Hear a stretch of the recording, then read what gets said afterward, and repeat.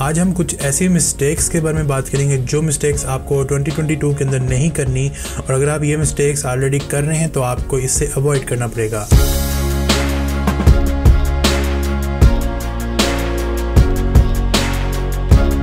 असलम का वेलकम करता हूँ फिल्मोरियंस के गुड एपिसोड में। भाई, आज की वीडियो में हम लोग बात करने जा रहे हैं वीडियो एडिटिंग की मिस्टेक्स के बारे में।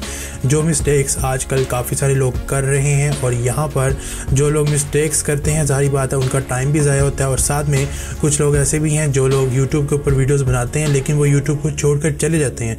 और जब उनसे पूछा जाए कि जी, आपने यूट्यूब को क्यों क्विट किया तो उनके अंदर एक रीज़न ये भी होती है कि यार वीडियो एडिटिंग में हमें बहुत ज़्यादा टाइम लग जाता है। वीडियो एडिट करने में काफ़ी ज़्यादा हमें टाइम ज़ाया हो जाता है, जिसकी वजह से हम अपने बाकी काम नहीं कर सकते। सो आज की वीडियो के अंदर हम लोग कुछ चीज़ों के बारे में बात करेंगे जो मिस्टेक्स आपको नहीं करनी अपनी वीडियो एडिटिंग के करियर के अंदर, अपने यूट्यूब के करियर के अंदर। वीडियो में आगे बढ़ने से पहले आप लोगों के लिए एक अनाउंसमेंट अगर आप यूट्यूबर बनना चाहते हैं, आप कॉन्टेंट क्रिएटर बनना चाहते हैं तो डिस्क्रिप्शन में भाई एक यूट्यूब कोर्स का लिंक दे रखा है।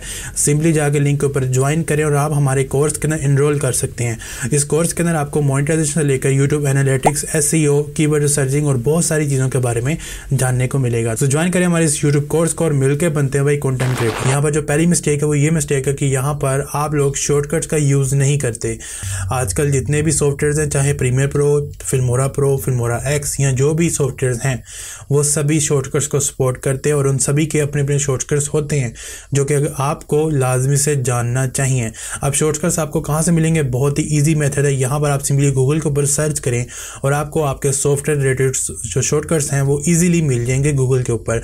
उसके अलावा अगर आप उनकी वेबसाइट के ऊपर विज़िट करेंगे, चाहे आप जो भी सॉफ्टवेयर यूज़ करें Premiere Pro Filmora x अगर आप उनकी वेबसाइट के ऊपर जाएँगे तो वहाँ पर भी आपको शॉर्टकट की फ़ाइल देखने को मिल जाएगी।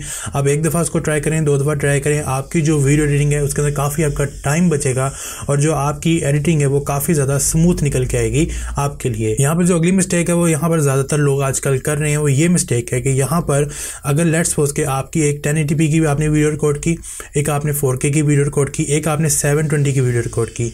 अब यहाँ पर जो मोस्टली लोग यहाँ पर जो गलती करते हैं, वो ये गलती करते हैं कि यहाँ पर आपके जो भी वीडियो एडिटिंग सॉफ्टवेयर चाहे प्रीमियर प्रो फिल्मोरा एक्स हो यहाँ पर वो गलती ये करते हैं कि सबसे पहले नंबर पर वो अपना वो प्रोजेक्ट लेते हैं, जिसकी कम रेजोल्यूशन होती है। यानी कि अगर आपने सेवन ट्वेंटी पी पे एक वीडियो शूट की है, एक आपने टेन एटी पी पे वीडियो शूट की है तो लोग क्या कहते हैं कि यहाँ पर सेवन ट्वेंटी की वीडियो को उठाकर अपनी टाइमलाइन के ऊपर ले आते हैं। कोई भी सॉफ्टवेयर में यहाँ पर बात कर रहा हूँ। अपनी टाइमलाइन के ऊपर जब वो सेवन ट्वेंटी की वीडियो को या लोअर रेजोल्यूशन की वीडियो को अपनी टाइमलाइन के ऊपर लेके आते हैं तो यहाँ पर ये यह होता ही है कि जो आपकी प्रोजेक्ट की सेटिंग होती है, वो 720p के हिसाब से ही हो जाती है, ठीक है? तो जब आपकी प्रोजेक्ट की सेटिंग 720p के हिसाब से सेट हो जाएगी, उसके बाद यहाँ पर होगा कुछ यूँ कि जब आप 720p के आगे वाली तरफ़ अपनी 1080p की वीडियो लगाएँगे 4K की वीडियो लगाएँगे तो एट दी एंड जब आप अपनी फ़ाइल को एक्सपोर्ट करेंगे, अपनी वीडियो को एक्सपोर्ट करेंगे, आपको वहाँ पर 720p की ही रेजोल्यूशन देखने को मिलेगी। वो क्यों मिलेगी? क्योंकि आपने अपनी पहली फुटेज 720p की इंपोर्ट की थी अपने प्रोजेक्ट के अंदर, ठीक है? तो एक बात हमेशा माइंड में रखें कि जब भी आप वीडियो एडिटिंग करें तो आपने अपनी वो फुटेज सबसे पहले लेके आनी जिसकी रेजोल्यूशन सबसे ज़्यादा हो। आप 4K की वीडियो आपके पास तो सबसे पहले 4K की वीडियो लेके उसके बाद आप 1080p की वीडियो लेके उसके बाद आप 720p की वीडियो लेके आए। यानी कि जो आपकी हाइस्ट रेजोल्यूशन है, आपने सबसे पहले वो फुटेज अपनी टाइमलाइन के ऊपर लेके आनी है, ताकि जो आपका प्रोजेक्ट है, वो उस हिसाब से वहाँ पर कस्टमाइज हो सके। अब यहाँ पर जो अगली मिस्टेक है, जो कि ज़्यादातर लोग आजकल करते हैं, वो ये मिस्टेक है कि उनकी कुछ फाइल्स किसी जगह पर पड़ी होती हैं, कुछ फाइल्स किसी और जगह पर पड़ी होती हैं। अब आप जब भी वीडियो एडिटिंग करें तो आप कोशिश करें कि आपने, लेट्स सपोज़ के आपने कोई बैनर चलाना है अपनी वीडियो के अंदर, आपने कॉर्नर पर कहीं पर अपना लोगो वगैरह अटैच करना है तो वो जो सारी फाइल्स हैं, कोई बैकग्राउंड ऑडियो लगाना है तो जो सारी फाइल्स हैं, वो एक ही जगह पर रखें, ना ताकि आपको बार बार उसको इम्पोर्ट ना करना पड़े बार बार आपको सर्च ना करना पड़े।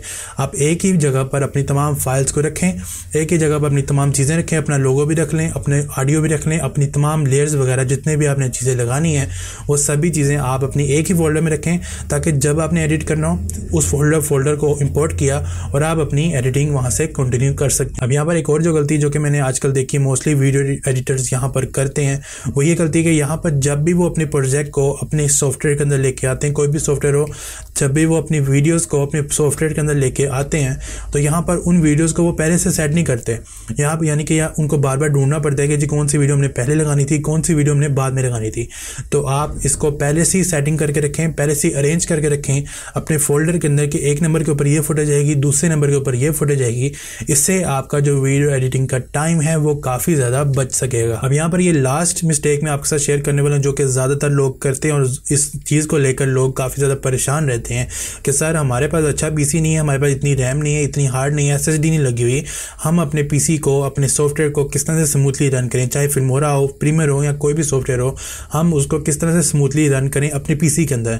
तो इसके लिए यहाँ पर जितने भी अच्छे सॉफ्टवेयर हैं, आजकल के जितने भी यार, सभी सॉफ्टवेयर के अंदर आपको ये फैसिलिटी देखने को मिलती है कि यहाँ पर आप उसकी प्लेबैक क्वालिटी को डिक्रीज कर सकते हो। वन बाई फोर के अंदर आपकी जो डिस्प्ले विंडो है, उसके नीचे वाली तरफ़ ही आपको एक ऑप्शन देखने को मिल जाएगा। वहाँ से आप उसकी प्लेबैक क्वालिटी को कम कर सकते हो। अब एक और मसला जो कि लोगों के माइंड में पता नहीं क्यों ये सवाल आ जाता है। यहाँ पर ये सवाल है कि यहाँ पर जब हम अपनी प्लेबैक की क्वालिटी को गिराएँगे, ठीक है तो हम जब अपने प्रोजेक्ट को एक्सपोर्ट करेंगे तो क्या हमारे प्रोजेक्ट के ऊपर भी वही क्वालिटी अप्लाई होगी? नहीं। ऐसा बिल्कुल भी नहीं है। जो आपकी प्लेबैक क्वालिटी है, वो आपको सिर्फ़ दिखाने के लिए आपको वहाँ पर डिक्रीज़ की जाएगी। उसकी जो क्वालिटी है, वो आपको सिर्फ़ दिखाने के लिए। स्मूथ प्लेबैक करने के लिए कि आपको पता लगे कि आपने क्या चीज़ एडिट की है, उसको सिर्फ़ दिखाने के लिए आपको वहाँ पर क्वालिटी गिराएगा आपका सॉफ्टवेयर अदरवाइज़ जब आप उसको एक्सपोर्ट करेंगे तो आपका जो वो वीडियो फ़ाइल होगी, वो बहुत ही ज़्यादा हाई क्वालिटी में आपको देखने को मिलेगी। तो मेक श्योर करें कि आप प्लीज़ प्लेबैक क्वालिटी को यूज़ कर लिया करें। अगर आपके पास पीसी अच्छा नहीं है, आपके पास रैम वगैरह थोड़ी है तो आप आप प्लेबैक क्वालिटी को ज़रा डिक्रीज़ करके देखें ताकि आपकी वीडियो एडिटिंग के टाइम बच सके और आपकी जो एडिटिंग है, वो ज़रा जल्दी हो सके। सो आई होप कि आपको ये कुछ चीज़ें पसंद आई होंगी और कुछ चीज़ों के बारे में आपको पता लगे होगा कि ये मिस्टेक्स आपको नहीं करनी चाहिए वीडियो एडिटिंग के अंदर और ट्वेंटी में यार बिल्कुल भी नहीं करनी चाहिए। थोड़ा सा स्मार्ट हो जो इस चीज़ के ऊपर फोकस करो इन आपकी जो वीडियो एडिटिंग है वो ज़्यादा बेटर निकल के आएगी। अगर आपको वीडियो को लाइक कर दें, नीचे कमेंट कर बताएँ कि आपको ये वीडियो कैसी लगी और अगर मैं कोई चीज़ भूल चुका हूँ तो मुझे नीचे कमेंट कमेंट करके बता दें। अच्छा लगेगा मुझे भी जान के। चैनल में सब्सक्राइब कर दें बेल आइकन को दबा दें ताकि आपको ऐसी वीडियो देखने को मिलती रहे। वीडियो बहुत शुक्रिया। Thanks lot and goodbye